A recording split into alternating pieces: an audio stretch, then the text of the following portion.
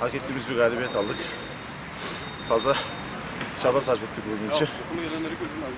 Geçen hafta puan kaybettik ama bu hafta telafi ettiğimizi düşünüyoruz. Geçen hafta biraz lay lay lom yaptılar. Ben hariç bizimkiler. Olsun.